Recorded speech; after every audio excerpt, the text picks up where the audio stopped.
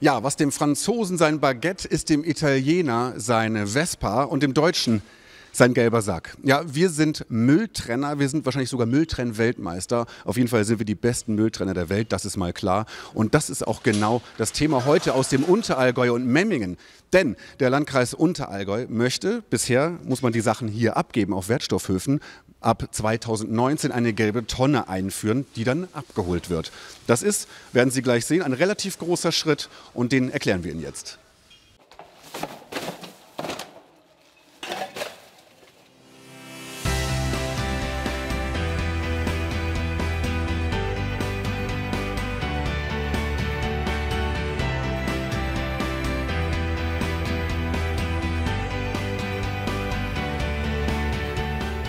Ein ganz normaler Tag auf dem Wertstoffhof im Unterallgäuer Otto Beuren.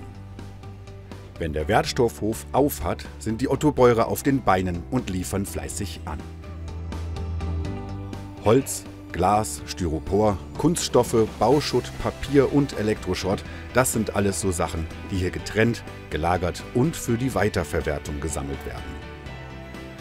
Einen großen Anteil an der Müllmenge, die hier an vier Tagen in der Woche abgegeben wird, haben die Verpackungen, die im Unterallgäu im gelben Sack gesammelt werden.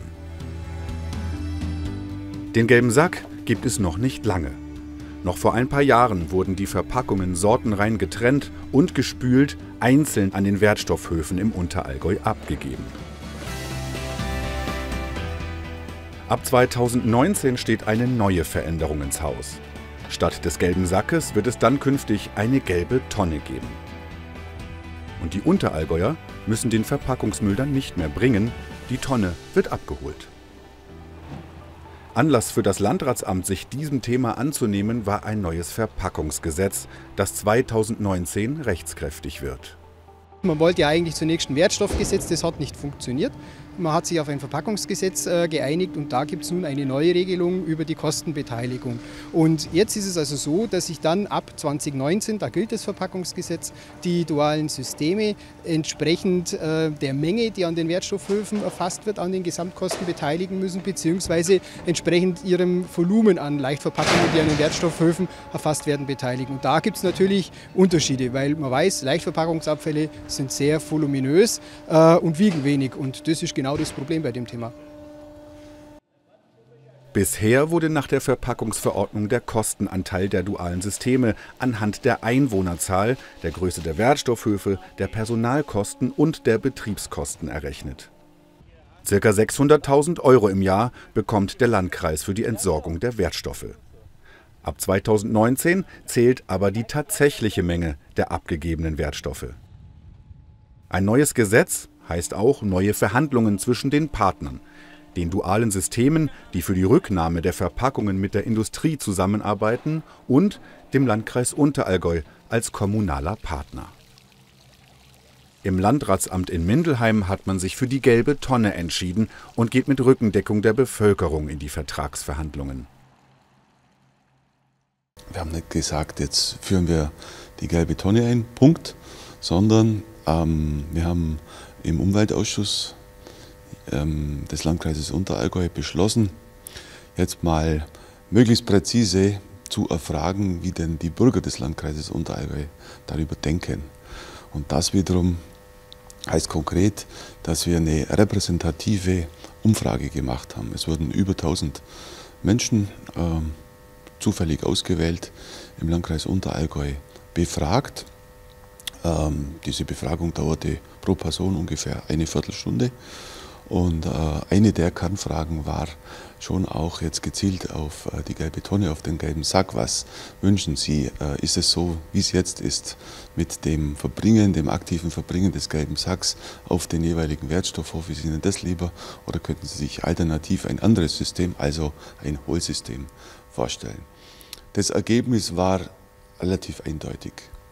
Das heißt, ähm, mehr als zwei Drittel der Befragten haben ganz klar tendiert in Richtung äh, Hohlsystem.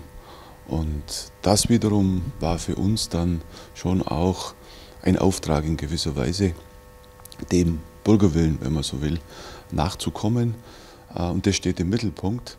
Und indem wir den Bürgerwillen oder den Willen der Mehrheit der, der, der Bürger erfüllen, ähm, schaffen wir auch eine Basis für die äh, Verhandlung mit den dualen Systemen. Das steht jetzt an.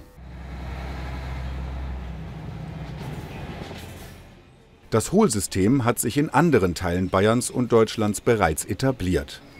In Augsburg gibt es schon seit Jahren eine gelbe Tonne und in Teilen Oberbayerns wird der gelbe Sack an der Straße abgeholt. Wir sind vom Unterallgäu in den benachbarten Landkreis Biberach gefahren. An einem Mittwoch begleiten wir die Müllabfuhr in Warthausen. Hier gibt es das Hohlsystem seit 2013. Vorher wurden die Wertstoffe, wie im Unterallgäu, zu den Wertstoffhöfen gebracht. Dass die gesammelten Wertstoffe hier in blauen Tonnen für Altpapier abgeholt werden, ist eine kleine Kuriosität. Auch hier war eine gelbe Tonne geplant, deren Bereitstellung war den dualen Systemen aber zu teuer. Jetzt wird an einem Tag im Monat das Altpapier aus der blauen Tonne abgeholt, am Tag darauf wird die, dann mit gelben Säcken gefüllte blaue Tonne noch einmal geleert. Für den Landkreis Unterallgäu war das zu keiner Zeit eine Option. Das wird bei uns schon deshalb nicht gehen, weil wir die äh, Altpapiertonne eingeführt haben mit der ganz klaren Ansage, liebe Leute, liebe Bürger, überlegt euch gut, ob ihr die Altpapiertonne haben wollt, insbesondere in den Gemeinden, wo wir engagierte Vereine unterwegs haben. Da gibt es einige Gemeinden, die das Altpapier sammeln, wollen wir unseren Vereinen, die damit Geld verdienen können, nicht in die Quere kommen. Ähm, es schaut zwar wirtschaftlich sehr interessant aus auf den ersten Blick, aber wir würden eigentlich das politische Ziel, nämlich den Vereinen die Gelegenheit zu geben, äh, Finanzmittel zu erwirtschaften durch Sammeltätigkeit, äh, damit zunichte machen. Und das ist nicht die Intention. Im Unterallgäu orientiert man sich da eher am Landkreis Günzburg, der ebenfalls ein Hohlsystem mit gelber Tonne eingeführt hat. Wenn es im Jahr 2019 dann soweit ist, gehen die Verantwortlichen davon aus, dass die gelbe Tonne von den Bürgern angenommen wird. Wir gehen davon aus, dass rund 90 äh, Prozent der Leichtverpackungsabfälle künftig über die gelbe Tonne erfasst wird und dann noch lediglich 10 Prozent äh, der erfassten Menge am Wertstoffhof äh, angeliefert werden wird. Es ist eine Ergänzung zum bestehenden Brinksystem, denn ähm, wir wollen natürlich gleichzeitig auch sicherstellen, dass all jene, die nicht die Gelegenheit haben, eine Tonne zu stellen, die Möglichkeit haben, ihre gelbe Säcke ordnungsgemäß der Verwertung zuführen zu können. Und es ist neu, es ist eine Erleichterung für die Bürgerinnen und Bürger, die auf aufgrund ihrer Berufstätigkeit äh, Probleme haben, die Öffnungszeiten wahrzunehmen. Und es ist einfach mehr Komfort, weil ich damit flexibler werde, was die Entsorgung anbelangt. Dass der Landkreis zu seiner eigenen Idee steht, ist klar. Aber wie finden die Otto Beurer die Idee mit der gelben Tonne? Die meisten, die wir gefragt haben, können sich mit der Idee anfreunden.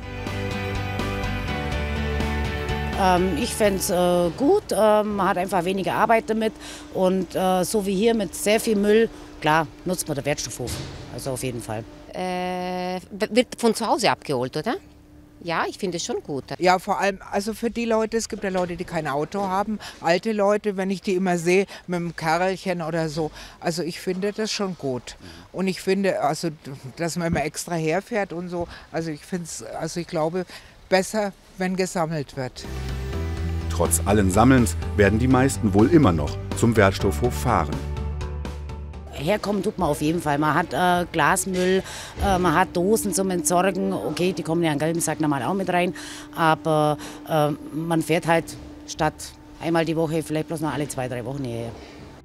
Es gibt aber auch Otto Beurer, die keine Tonne wollen und die auch den gelben Sack, den es momentan gibt, nicht benutzen, sondern daheim trennen und so dem Wertstoffhof noch eine ganz andere Seite abgewinnen können ich bin noch Selbstversorger. Also ich fahre es getrennt her äh, in, in, zwei äh, Plastikbeutel oder Taschen. Wir haben da hinten so größere Taschen, die man mehrmals verwenden kann und haben schon Papier und Blech und Flaschen daheim getrennt und versorgen das hier. Und ich bin ein, ich mag das da, so Abwechslung auch darauf und, und die Leute sind nett und so. Und äh, ja, äh, ich, ich mag ich bin nicht für, ich habe keine gelbe Tonne dann.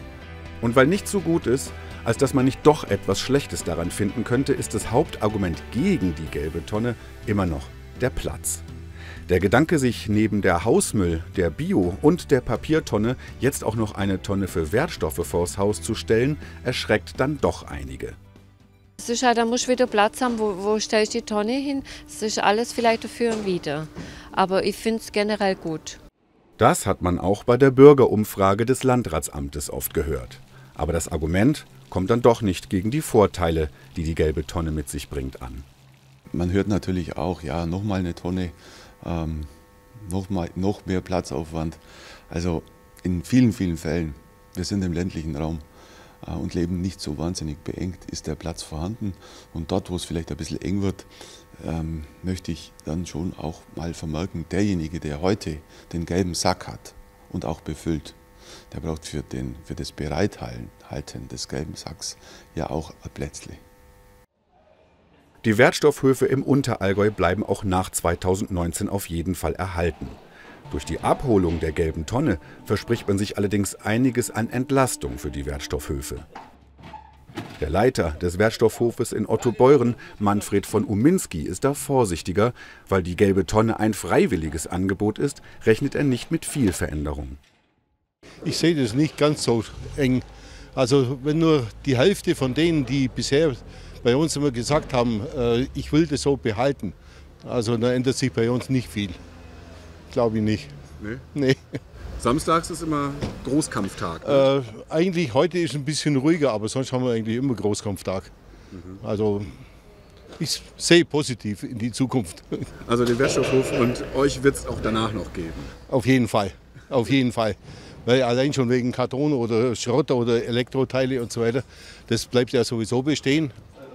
Müll, Mülltrennung und Müllvermeidung sind auch umweltpolitische Themen. Und beim Thema Umwelt kann die gelbe Tonne dann auch in anderer Hinsicht punkten. Ein Lastwagen im Monat, der den Müll holt, gegen viele Autos, die fast jeden Tag den Wertstoffhof anfahren. Wir haben das dann auch recherchiert und festgestellt, glasklar, äh, es werden durch dieses Hohlsystem deutlich weniger Fahrten ähm, begründet und damit haben wir auch schon rein ähm, von ähm, dem Aspekt, den Sie gerade eben angesprochen haben, also CO2-Emissionen über Verbrennungsmotoren, absolut äh, entlastende Effekte. Entlasten kann die gelbe Tonne also relativ viel. Die CO2-Bilanz, die Mitarbeiter der Wertstoffhöfe, die Bürger, die nicht mehr so oft ihren Abfall wegbringen müssen. Ob sie auch die Taschen des Landkreises und letztlich die der Bürger entlastet, wird sich in den anstehenden Verhandlungen mit den dualen Systemen zeigen.